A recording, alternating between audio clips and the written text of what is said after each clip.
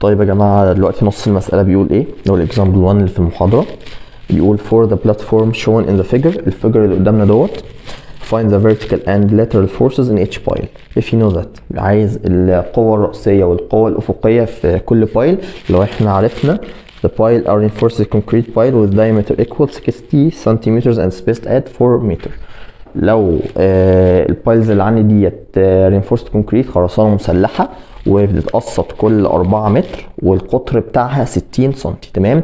The piles is fixed to the platform slab. ال piles ديت fixed يعني اتصالها بال platform مش hinged مش بيسمح بالدوران. fixed هو هيقول لك كده في المسألة تمام؟ مع السلابه اللي فوق ديت.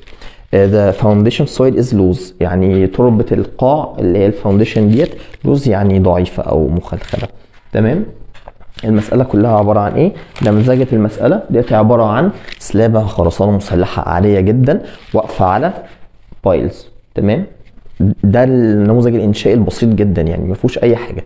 طيب إحنا دلوقتي هنعمل إيه؟ أول حاجة هو طلب مني ال vertical وطلب مني ال lateral forces يبقى أنا دلوقتي عندي هشتغل أول حاجة أقسم الصفحة بتاعتي اتنين vertical والناحية التانية إيه؟ lateral. قال لي هي spaced at 4 متر يعني هي بتتقسط at 4 متر.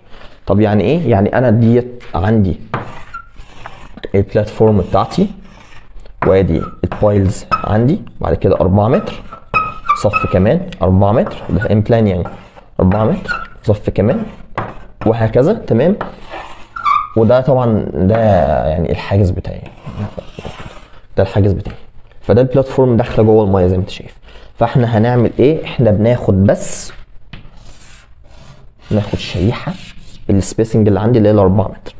تمام؟ خدت الشريحة ديت كبرتها فوق أهيت.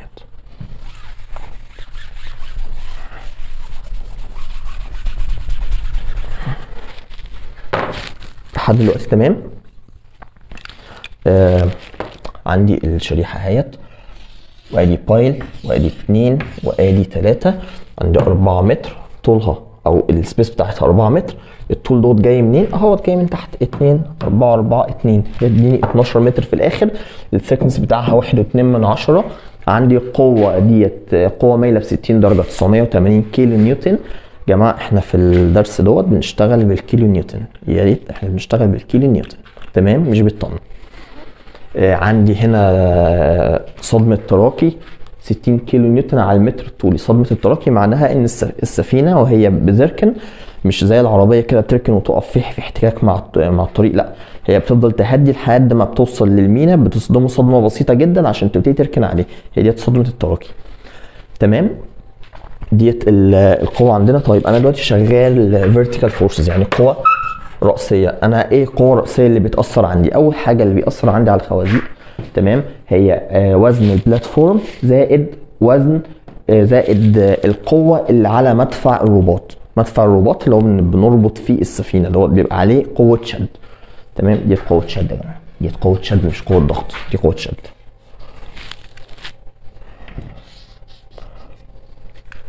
طيب هل هل صدمة التراكي بتحصل مع مدفع الرباط لا. كل واحدة من ديت بتحصل لوحدها. في طرف يعني ديت بتحصل الأول وبعد كده ديت بتحصل. أكيد السفينة بتركن وبعد كده ببتدي أربطها. تمام؟ فأنا كده عندي كام case عندي two cases عندي حالتين حالة صدمة التراكي وحالة مدفع الرباط أنا هدرس إيه دلوقتي؟ أنا هدرس دلوقتي مدفع الرباط أول حالة هي مدفع الرباط اللي هو اسمه البولارد. تمام. طيب أنا دلوقتي عندي القوة 980 هتتحلل في الاتجاه الرأسي. قوة 980 ديت هتتحلل في الاتجاه الرأسي وفي الاتجاه الأفقي. تمام؟ هنعمل حاجة غريبة شوية دلوقتي. إحنا هنعمل حاجة غريبة شوية. أول حاجة هي هتتحل في الاتجاه الرأسي هتبقى 852 و6 من عشرة اللي هو 980 sine 60 يطلع 852 و6 من عشرة. هنا هل أنا هحللها على الافقي؟ قال لك إحنا مش هنحللها على الافقي إحنا عندي ال worst case إن القوة ديت كلها تبقى في الاتجاه الافقي أنا ال worst case بالنسبة لي أساسا في ال platform هي ال lateral forces تمام؟ فأنا دلوقتي هخلي القوة دي بكامل طاقتها تبقى على الاتجاه الافقي دوت. 980 تمام أصبح عندي كده قوة رأسية وأصبح عندي قوة افقيه بقت مسألة structure عادية عادية جدا. تمام؟ أول حاجة هنعملها ماشي. القوة الرأسية إن القوة اللي بتأثر في الاتجاه الأفقي. أول حاجة وزن البلاطة. أي وزن بيساوي الحجم في الجامعة تمام؟ الجامعة ديت اللي هي وزن وحدة الحجوم يعني لو عندي مكعب واحد متر في واحد متر دوت هيأثر لي بوزن مقداره كذا تمام؟ فإحنا جامعه الخرسانه المسلحه 25 كيلو نيوتن المتر مكعب تمام؟ يبقى الحجم عندي 12 في 4 في ال thickness 1 و2 12 في 4 في ال thickness 1 و2 في الجامعة بتاعت الخرسانة المسلحة اللي هي 25 كيلو نيوتن. تمام؟ ديت القوة اللي في اتجاه الرأس اللي جاية من الوزن.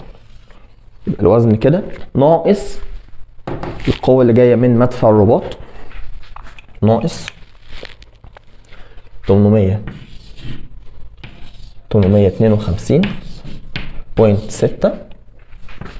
الكلام ده هيساوي عندي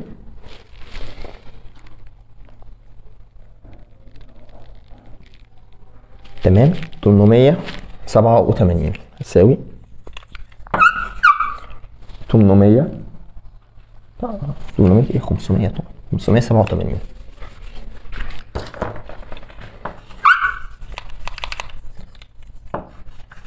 هيساوي 587 بوينت 4 كيلو نيوتن كيلو نيوتن يا جماعة. تمام. طيب هل أنا دلوقتي آه، ديت القوة عندي هقوم قاسمها على الثلاث خوازيق على طول؟ قال لك إحنا هنشتغل في نظرية اسمها ال stiff girder يعني إيه ال stiff girder يعني ال platform ديت مش بتتشكل أو مش flexible إنها تدي كل pile من دول reaction غير التاني. التلاتة هياخدوا نفس ال reaction بس في moment تاني هيأثر عندي.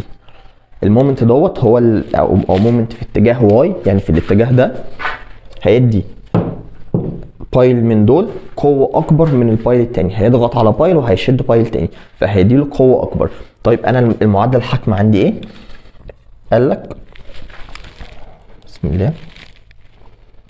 تمام. القوة اللي على ال pile ال reaction هتساوي ان القوة الرأسية اللي عندي ديت على عددهم عدد البايل